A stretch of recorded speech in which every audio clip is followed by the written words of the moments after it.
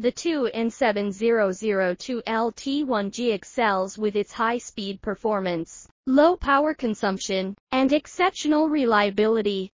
This transistor's low capacitance and breakdown voltage make it an excellent choice for power amplifiers and voltage regulators.